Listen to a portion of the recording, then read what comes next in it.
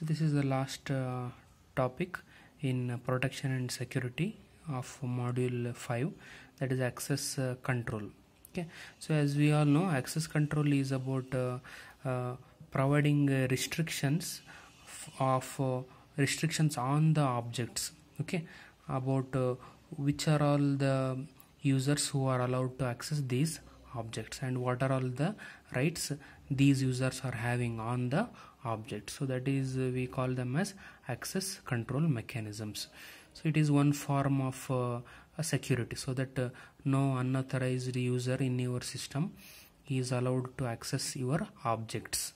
Okay? So as I, as I said objects can be it can be cpu it can be memory it can be uh, hardware hardware devices like printer scanner like that.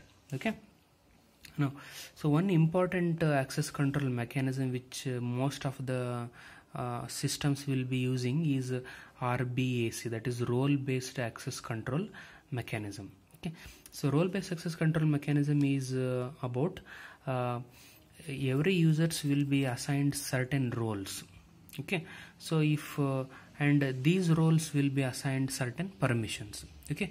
If any user is having say role r1 so there are some certain permissions for role r1 similarly certain permissions for role r2 etc okay? So here is a diagram which uh, says that information. Okay? So this is user 1 information you can see. So uh, role 1 there are two privileges privilege 1 and privilege 2 okay?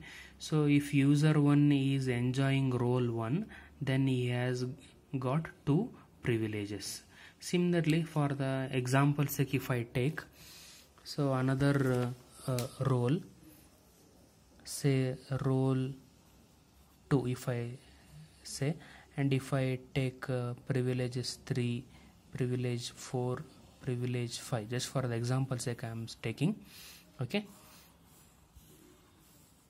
And I will call this as user 2 then it indicates user 2 when he is enjoying role 2 he has got three privileges or three permissions like that. So that's why the name given role based access control. Based on what role user is enjoying those permissions will be uh, given to them okay? Based on that the they will be accessing the data and they will be executing the programs okay so the next thing is about uh, removing the access rights from the user so we call it as uh, revocation of access rights ಅಂತ ಕರಿತೀವಿ okay now there are various uh, things we must know uh, when we perform this revocation of access rights okay so that is uh, first one is immediate revocation or uh, whether, it, whether whether we have to perform delayed revocation okay immediate uh, revocation means whenever uh, uh, user uh, is allotted certain rights so you are immediately removing these access rights from the user. So we are not bothering whether the user is currently executing any process or not. So this results in damage to the system.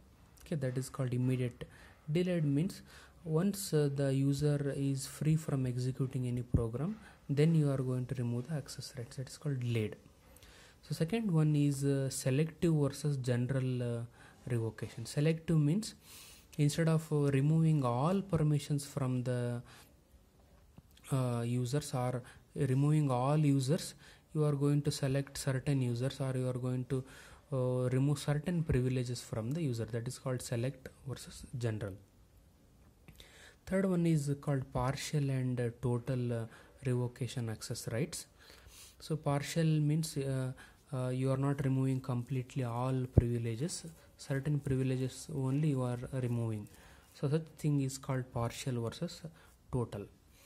And the last one is temporarily removing uh, revoke uh, access rights or whether you are removing the access rights permanently. That is called temporary versus permanent access revocation rights. Next for implementing these uh, revocation mechanisms there are four uh, major methods we use for implementing revocation of access rights first one is reacquisition. Second one is back pointers method uh, indirection method. Last one is using the keys method.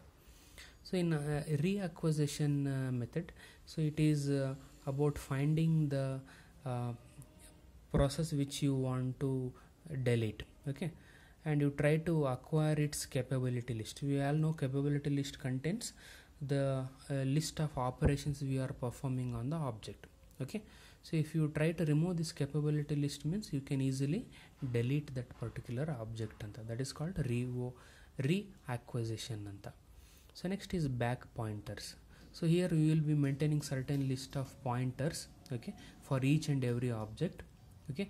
And each and every pointer when you try to remove from the object means uh, process or user will be not able to or the process or user will be no longer able to access these objects ಅಂತ ಅರ್ಥ so it is in turn you are ರಿವೋಕಿಂಗ್ the access rights ಅಂತ that is called back pointers so next is the indirection so indirection means uh, so you are uh, the capability of uh, indirectly pointing uh, to the objects by making uh, them not available in the global table. So as we all know global table will be maintaining a tuple which contains information about uh, uh, the domain the object and the access rights. So if you are uh, using indirection operation it means you are trying to remove that entry from the global table. If there is no entry present in the global table then it indicates that you have removed the access rights ಅಂತ ಅರ್ಥ so that's what indirection indicates so the last one is using the keys uh, method you are trying to revoke the access rights so here you will be having a unique key pattern so which is uh, associated for every capability list okay so whenever you are trying to uh, remove any of the access rights from the objects so you are going to make use of these key patterns okay? And uh, based on these key patterns you are selecting the objects for uh, revocation of access rights. So that's how the method of uh, revocation will be taken care. So these are the four major important points which comes under revocation of access rights